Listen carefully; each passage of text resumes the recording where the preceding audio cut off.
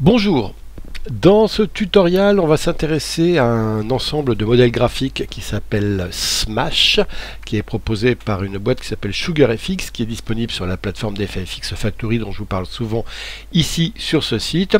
Alors, c'est quoi Smash? C'est un ensemble, euh, je crois que ça coûte 49 dollars, qui propose euh, au total 15 modèles alors regardez, de d'effets, de d'explosion, genre explosion de texte et de vitres comme ça.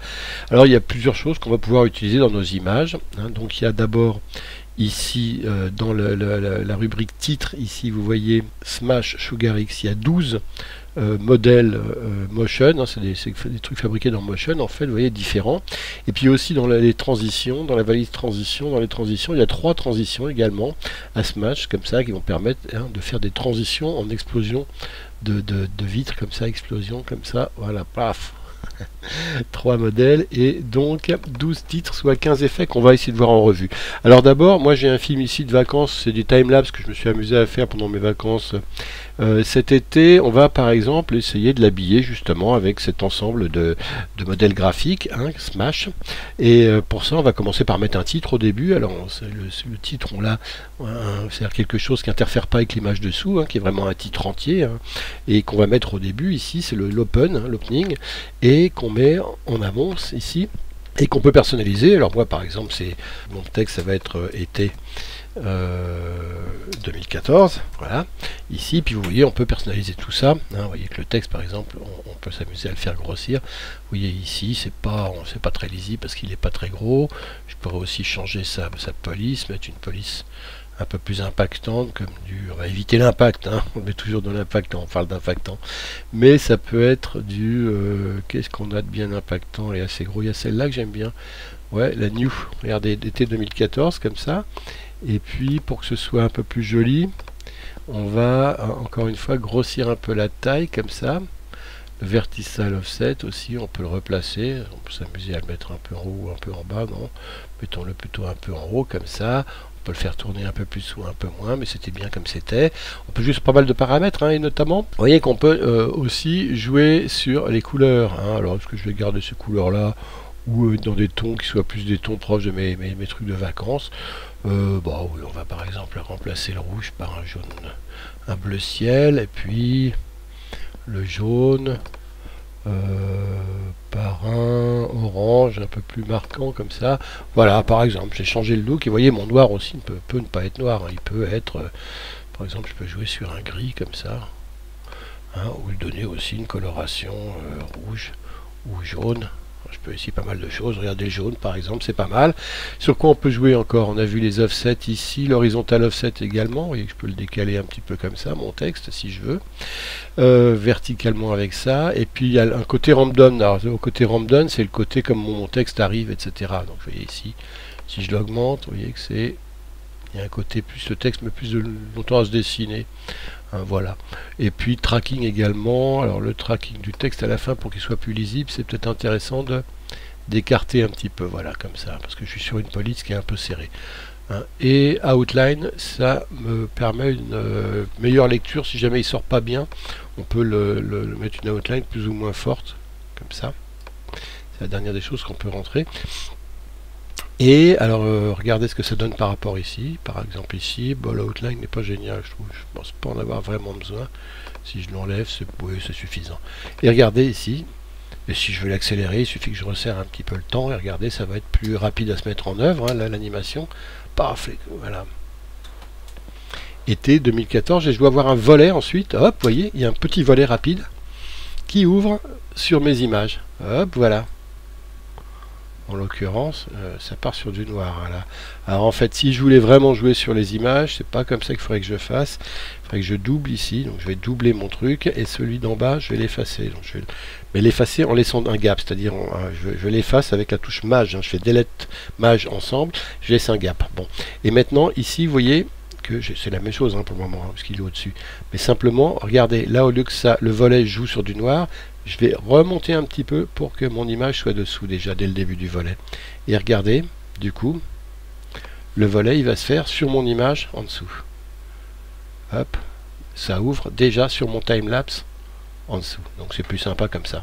Hein, et d'une manière générale, voilà, on va dire que je vous conseille de faire comme ça si vous voulez le, vous en servir en opening, c'est de le mettre par-dessus un gap noir, hein, plutôt que de le mettre euh, sur la piste principale.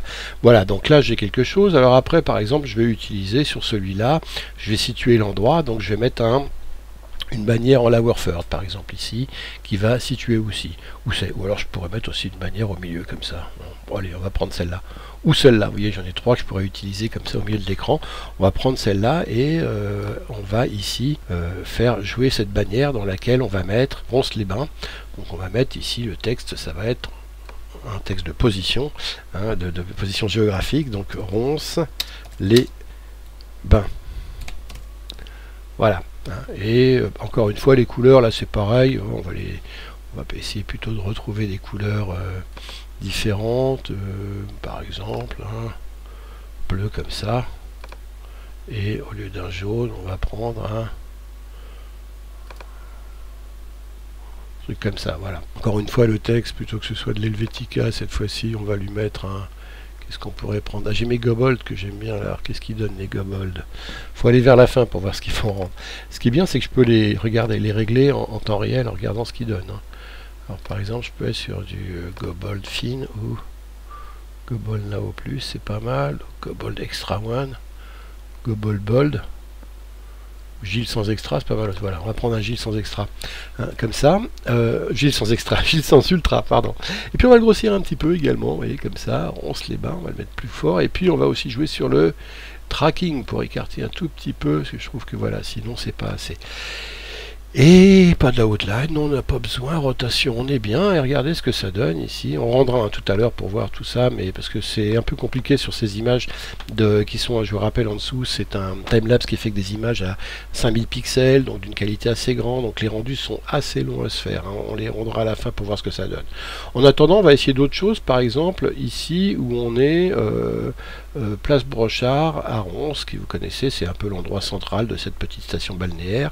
Et donc là, au lieu on va mettre un, on va mettre un, title ici, par exemple, pour dire place Brochard. Donc on fait un, title, on en a plusieurs des titles, voyez, on a ça, ça ou ça. On va essayer celui-là, ce dernier, et ce dernier ici, on va le mettre au milieu, hein, ou même vers la fin d'ailleurs.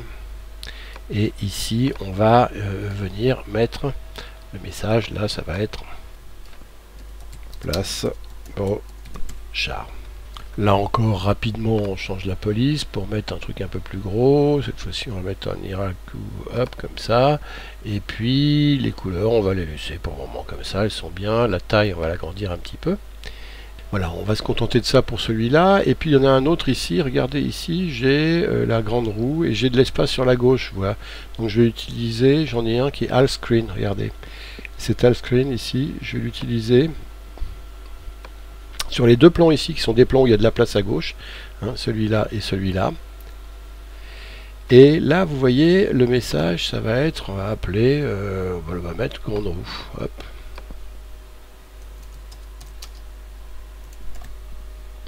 Et encore une fois, que ce soit de l'Helvetica, on va mettre un impact ce coup-ci. Et puis en taille, hop, à la fin, c'est comment? Vous voyez comment ça s'évolue ce truc? Hop, à la taille à la fin, elle sera un peu plus grosse. Et le tracking également, je trouvais un peu léger, il faut qu'on le monte un petit peu, voilà, comme ça. Euh, et puis le reste, les couleurs, bon, sont, vous voyez qu'on peut les personnaliser, mais rien ne vous oblige, etc. Et puis aussi, on, a dit qu'on allait aussi utiliser les transitions pour vous montrer à quoi elles servent. Transitions, on en a trois. On a par exemple celle-là, qu'on peut utiliser là. Et puis auparavant, on va mettre celle-là. Et encore avant, on va mettre celle-là.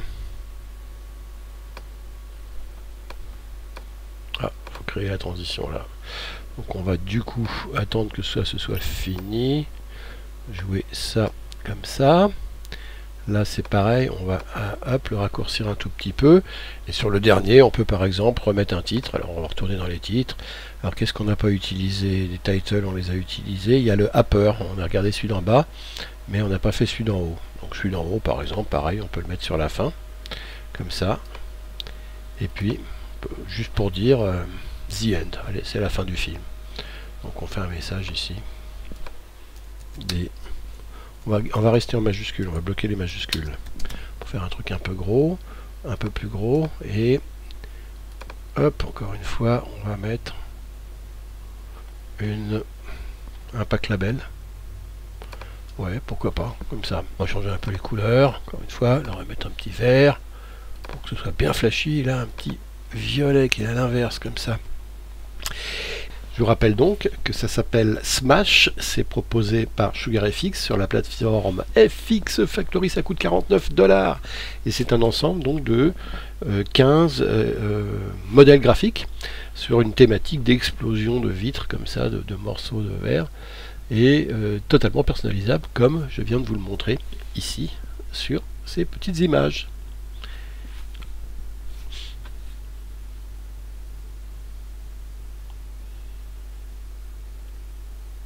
Les transitions là, vous voyez. L'effet sur la grande roue. Deuxième transition. Et puis on va aller à la fin du film. On a une troisième transition que je vais vous montrer ici. Hop, et puis le passage de fin pour finir.